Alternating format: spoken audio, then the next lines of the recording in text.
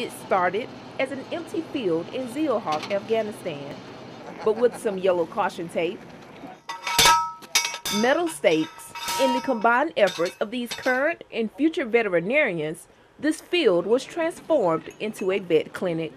You can read a lot out of a textbook, but until you put your hands on a live animal, it, it really does not make sense. You have to learn from a book, and you also have to put your hands on the animal.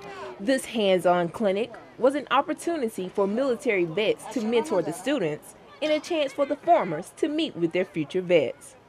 Sheep and goats, they were doing basic body conditioning score to see if they were um, underweight or overweight, uh, checking for pregnancies, and just doing overall physicals, and then deworming them at the end if they needed, if they had internal parasites.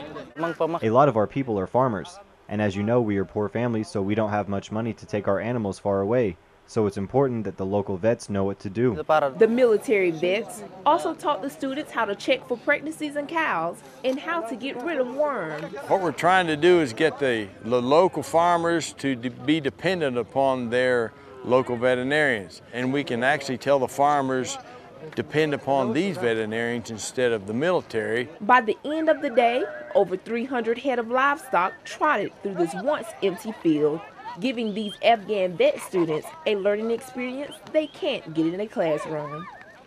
Air Force Staff Sergeant Tiffany Gordon, Zeelhawk, Afghanistan.